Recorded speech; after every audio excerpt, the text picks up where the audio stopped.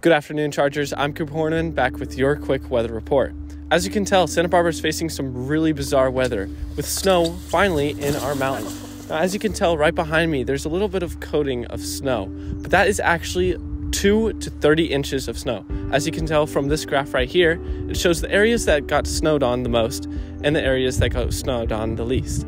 Now, Cachuma also got enough snow to the point where they had to close down some areas. So just be safe up there if you're planning on going to near the snow area. Well, that's all for today, Chargers. Hope to see you next time. I'm Cooper Hornman with your weather report.